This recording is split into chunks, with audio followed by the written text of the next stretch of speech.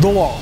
We all want to abide by it, but there are some laws that very few people know about. Hey, you, Mr. Elephant owner, be careful where you park that thing or you could get a hefty fine. Exhibit B for you, Miss Skydiver, you better stay in that plane on certain days. And you, Mr. Porcupine lover, that's just about enough of that. I'm Lewis Turner with a report you can't miss, or you could be breaking those strange, unusual, crazy laws. Tonight, only on First Coast News at 11.